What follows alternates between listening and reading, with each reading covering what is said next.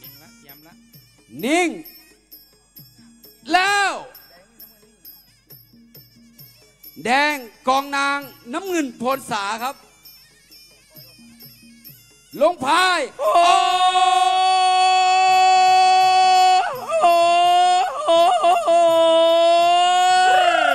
เอาละว้ชมเรือคู่ชิงกีฬาประจำปีพุทธศักราช 2566 รอบที่ 2 เที่ยวที่ 2 ลงน้ำแดงลง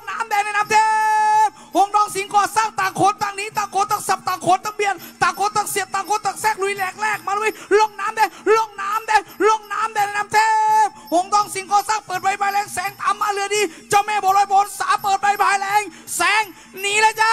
ไม่รู้จะแซงหนีแซงหนีไปได้ ไม่ได้ยังไงบอกว่าท่านนายกไปอัดฉีดไปแล้วสอ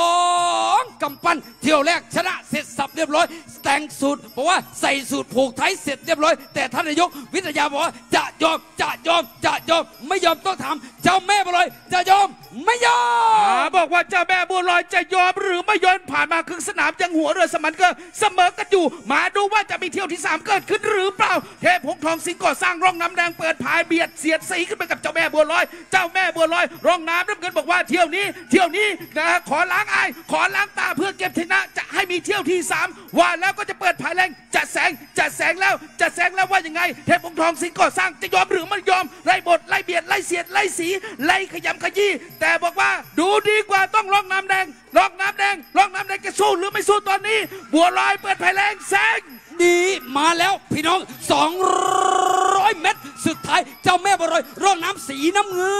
นน้ำเงิน แต่บอกว่าบอกว่าบอกว่าเทพหงส์ทองร่องน้ำสีแดงจากพี่น้องกองนะจะย่นจะท้อจะแท้จะถอย ตอนนี้เหลื่อมนี่นี่นี่นี่บอกว่าร้อยเมตรบัวลอยหงทองบัวเลยหงทองบัวเลยหงทองบัวเลยหงทองบัวเลยหงทองบัวเลยหงทองบัวเลยหงทองบัวเลยหงทองเดือนละสองลำเข้าเส้นชัยเรือลากจูง เอา เอาใส่บริการนี่ลีตัวนี้โอ้ยบนหาฝืนคำครูบาอาจารย์ เพิ่นสี่ลงดิน ผลการแข่งขันเรือคู่ชิงชนะเลิศครับ เที่ยวสลับสายน้ำครับ กรรมการผู้ทรงเกียรติไม่รอช้าตัดสินเรือที่ชนะในเที่ยวนี้